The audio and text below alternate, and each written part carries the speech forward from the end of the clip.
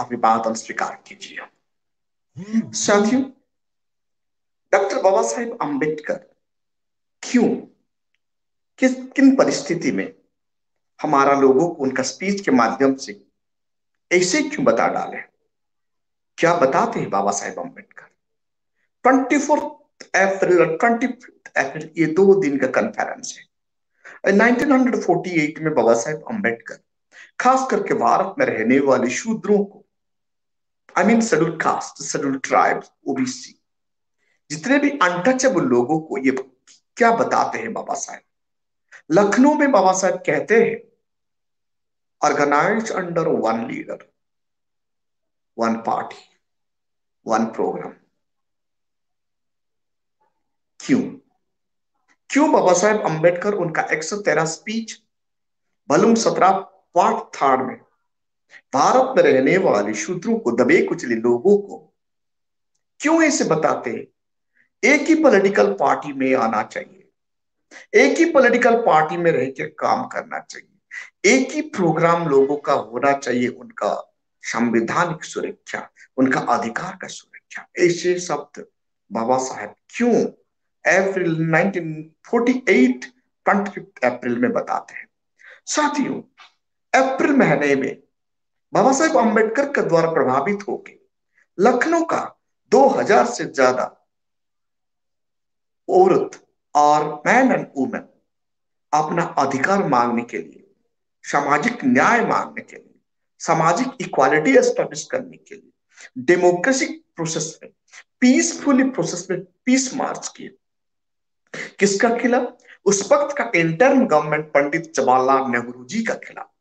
मतलब भारत सरकार का खिलाफ। 1948 में भारत सरकार बन चुका था। तो जात पात से आज़ादी, भुखमरी से आज़ादी, समरसता स्थापन करने के लिए उत्तर प्रदेश का 2000 से ज़्यादा दलित दबे कुचले लोग सड़क पर आ रहे हैं। इतने में ही पंडित जवाहरलाल नेहरू जी गुस्सा हो गए और 2000 लोगों को लखनऊ जेल में डाला गया। इलीगली डिटेंशन किया गया और इनका अधिकार मांगने वाले लोगों को तानाशाही दिखाकर उन्हें जेल का अंदर डाला गया। ये खबर बाबा साहेब अंबेडकर को रहा नहीं गया। Baba Saheb Ambedkar twenty fourth April Lucknow कूच कर गए। तो twenty fourth and twenty fifth April में वन लाख से ज़्यादा लोग इकट्ठा हो गए बाबा साहेब को सुनने के लिए। उसमें, उस जगह पर बाबा साहेब ये दहाड़ते हैं कि भारत में रहने वाले तमाम schedule caste schedule tribe, OBC और माइनॉरिटी लोगों को एक ही पॉलिटिकल पार्टी में काम करना चाहिए।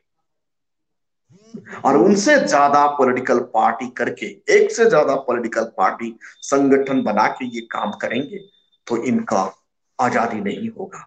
संवैधानिक अधिकार इनको नहीं मिलेगा और राजनीतिक सत्ता इनको कभी भी उपभोग करने के लिए अधिकार नहीं मिलेगा। बाबा साहेब अंबेडकर यहाँ कहते हैं कहते हैं, आप कभी भी भारत में रहने वाले, जितने भी schedule caste, schedule tribe and OBC लोग रहते हैं, आप कभी भी उम्मीद ये मत रखिए कि आपको कांग्रेस या कोई भी शबरमत द्वारा बनाया हुआ पार्टी आपको आपका दुख दर्द दूर करने के लिए काम करेगा। ये कभी भी नहीं करेगा। यहाँ लिखते हैं बाबा साहेब अंबेडकर उनका वॉल्यूम सत्रह एक सौ तेरह speech part third page number 398 में बाबा साहब ये लिखते हैं।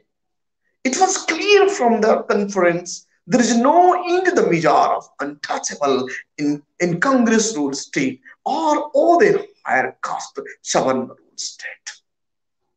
जो भी प्रोविंस में ऊँचे जाति वाले का पार्टी का शासन होता है, वहाँ कभी भी schedule caste schedule tribe untouchable OBC को सम्मान नहीं मिलेगा, इज़्ज़त नहीं मिलेगा और उनका ज़िंदगी खुशी नहीं होगा और बाबा साहब ये कहते हैं लोगों को political power is the key to all social progress and the Dalit can achieve this salvation. Baba Saheb Ambedkar volume शतरा part third page 388 paragraph four में ये लिखते हैं political power is the key to social progress राजनीतिक ताकत, ऐसा एक ताकत है सोशल प्रोग्रेस के लिए ये सबसे बड़ा वेपन है। सबसे बड़ा क्षमता है इनको हासिल करने के लिए। और दलितों का, ओबीसी का, शूद्रों का आज़ादी के लिए, मुक्ति के लिए सर्वेशन के लिए राजनीतिक ताकत बहुत ज़रूरी है। इसलिए बाबा साहेब अंबेडकर ऑर्गेनाइज कहते हैं, एक ही पार्टी का बात कहते हैं। ओनली वन पार्टी का बैनर जो नेशनल पार्टी बन जाता है भारत वर्ष में शूद्रों का, कोई एक ही नेशनल पार्टी का बैनर में काम करने से इनका आज़ादी और सल्वेशन होगा। तनिक ये पेज नंबर 388 पैराग्राफ फोर में आप देखिए भलुम सत्रह में आपको रेफरेंस के लिए मिल जाएगा।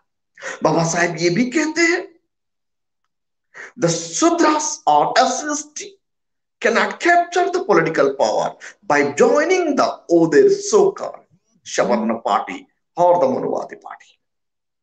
जितने ऊंच वर्ण का शवर्णों द्वारा एस्टेब्लिश किया गया पॉलिटिकल पार्टी में, जब schedule caste schedule tribe, OBC लोग ज्वाइन करेंगे, इन लोगों का कभी भी ताकत नहीं आएगा। आज का तारीख में जितनी भी मनुवादी पार्टी चल रहे हैं, जैसे बीजेपी, कांग्रेस, कम्युनिस्ट उड़ीसा में बीजू जनता दल, और आपका पश्चिम बंगाल में तृणमूल कांग्रेस। ये सब मनुवादियों का विचार में चलने वाले पार्टी है। ऐसे पॉलिटिकल पार्टियों में जब शूद्रों का लोग ज्वाइन करेंगे और काम करेंगे, उनको कभी भी राजनीतिक ताकत नहीं मिलेगा और वो कभी सुरक्षित नहीं रहेगा। बाबा साहेब ये बात बताते हैं। जब तक भारत का शूद्र अपना पॉलिटिकल पार्टी का साथ काम करना छोड़कर मनुवादियों का पार्टी में काम करने लगेंगे तो समझिए ये मनुवादियों का स्ट्रेंथ बढ़ा रहे हैं और शूद्रों का स्ट्रेंथ कमज़ोर कर रहे हैं। इसीलिए बाबा साहब कहते हैं, उनका वॉल्यूम सत्रह।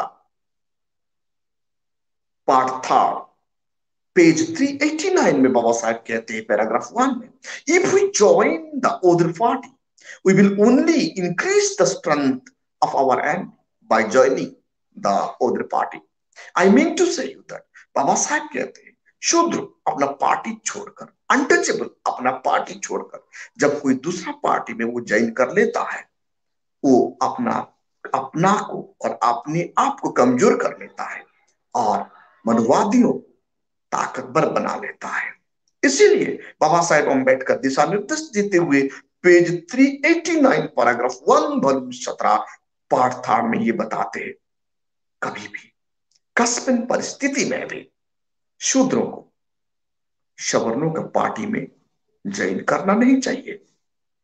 कभी भी आप ऐसा गलती मत कीजिए। आप लोग जब ऐसा गलती करेंगे तो खुद ही आप कमज़ोर बन जाएँगे। आपका भलाई होने वाला नहीं है और आपका समाज का भी भला होने वाला नहीं है। ये संवैधानिक प्रक्रिया में आप गुजर नहीं पाएँगे और अपना लोगों के लिए आप कानून बना नहीं पाएँगे। इसलिए बाबा साहेब अंबेडकर यहाँ मना कर देते हैं। और एक बात बाबा साहेब अंबेडकर यहाँ लिखते हैं the Manuvadi party are the burning house we cannot be prosperous day if we enter in it. Page 389 paragraph 2 volume 17 part third में बाबा साहब लिखते Congress and other Manuvadi party एक जलता हुआ मकान है। उस मकान के अंदर जब अछूत घुस जाता है, शुद्ध घुस जाता है, वो जल जाता है। वहाँ जाके वो खुद तो जल जाता है और अपना समाज को भी जला डालता है। वहाँ हमारा प्रोग्रेस होने वाला नहीं है। इसीलिए आप उस पार्टी का अंदर कभी भी घुसने के लिए भी कोशिश मत कीजिए, क्योंकि ये एक जलता हुआ, एक जलता हुआ मकान है। वो हमारा लिए बहुत बड़ा खतरा है। ऐसे पॉलिटिकल पार्टी के बारे में बाबा साहब कहते हैं, ये पेज नंबर 389 पैराग्राफ टू में लिखा जाता है, आप रेफरेंस के लिए वॉल्यूम सत्रह पार्ट थर्ड में जाके थोड़ा देख सकते हैं। बाबा साहब ये भी वार्निंग दे देते हैं। द कांग्रेस और मनुवादी पार्टी खास करके Congress will ruin within couple year और कुछ सालों के बाद, कुछ वर्षों के बाद ये कांग्रेस भारतवर्ष में नहीं रहेगा, क्योंकि एंटी डेमोक्रेसी है। जो भी पार्टी एंटी डेमोक्रेसी होता है, वो पार्टी का मजबूती का किला को भी लोग बर्बाद कर देते हैं सिटीजन दादा साहेब कंसीराम, मान्यवर कंसीराम कांग्रेस को पूरा आज का तारीख में कमज़ोर कर दिए, क्योंकि बहुजनों का वोट कांग्रेस की तरफ़ जाना बंद हो गया।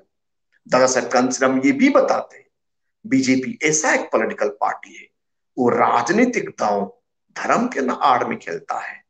वो जो धर्म के आड़ पर जो राजनीतिक दाव खेलते हैं, वो कुछ साल के बाद अपने आप कमज़ोर बन जाता है। क्योंकि कितने दिन तक लोग अंध की तरह मानेंगे, लोग पढ़ लिख कर जान जाएँगे तो एक धर्म का आड़ में खेलने वाले किला ध्वस्त हो जाएगा। ये महापुरुषों का वाणी सचमुच में सही होना दिखाई देता है और दिखाई दे रहा है। आज का तारीख में we must have to be organise our self to a third party they will be come to our feet to be page 389 paragraph third volume सत्रह में बाबा साहब कहते हम भारत का सूत्र थर्ड पार्टी बनाना है। थर्ड नेशनल पार्टी को मज़बूत करना है। ताकि हम सरकार बनाने के लिए और सरकार बनाने वाले को कमज़ोर कर देंगे। और ये हुक्मरान हमारा पैर का नीचे आ जाएँगे। जो काम दादा साहब कांसीराम ने बसपा का माध्यम से कर डाले। आज जो थर्ड नेशनल पार्टी बन के उभरा है हम जितने भी लोग बाबा साहेब अंबेडकर का दायद है उनका वॉल्यूम सत्रह पेज 389, 388 को सही से पढ़ना है और 113 स्पीच को। और बसपा को मज़बूत करना है। और देश का संविधान को बचाना है। सचमुच में हम बाबा साहेब को मानते हैं तो बाबा साहेब का बात को पालन करना होगा। जितने भी आज दलितों का मसीहा बन के उभर रहे नेशनल पार्टी बना रहे ये बाबा साहेब अंबेडकर को धोखा दे रहे हैं। क्योंकि बाबा साहेब अंबेडकर उनका मालूम सत्रह part third page 388 389 speech number 113 में बताते हैं। अब कस्पिन परिस्थिति में भी बिखरना नहीं। ज़्यादा पार्टी बनाना नहीं। जब नेशनल पार्टी आपका बन जाता है तो आप उसी का बैनर में आ जाइए और देश का संविधान को बचाइए। बाबा साहब ये भी कहते मैंने बहुत मेहनत करके, अपना परिवार का पाँच पाँच मेंबर को, समाज के लिए डेडिकेट करके आपको ये संवैधानिक प्रक्रिया का अधिकार देके जा रहा हूँ। इनको बरकरार रखना। इनको बरकरार रखने के लिए आपको राजनीतिक ताकत इकट्ठा होकर लड़ना। इसीलिए मैंने आपको ये आदेश दे रहा हूँ, बाबा साहब कहते हैं one leader one party one banner और वन प्रोग्राम जितने छोटे छोटे पॉलिटिकल पार्टी बस पाक को छोड़कर बहुत सारे बहुजनों का पार्टी बना रहे हैं, ये बाबा साहेब का खिलाफ कर रहे हैं। बाबा साहेब का विचार को तोड़ रहे हैं। साथियों, जब हम असली बाबा साहेब का बारिश है और बाबा साहेब को जानने वाले लोग हैं।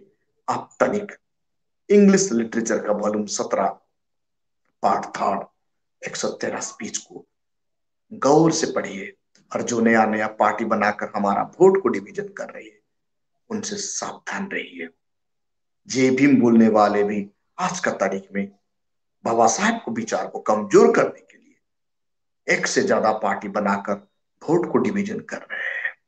साथियों हम बाबा साहेब को मानेंगे। यूनाइटेड होके ही रहेंगे और देश में हमारा प्रति होने वाले अत्याचार को मिटाएँगे अनिक्वालिटी को मिटाएँगे। संविधानिक प्रक्रिया में गुजरकर कानून बनाकर देश हित में लड़ेंगे और देश को बचाएँगे। देश को भुखमरी से आज़ादी करेंगे, देश को जातिवाद से आज़ादी करेंगे। जे देश में इक्वालिटी और समरसता स्थापन करेंगे। आप सब लोग असम न्यूज़ का इस मुहिम में जुड़ जाइए और संविधान को बचाइए। Thank you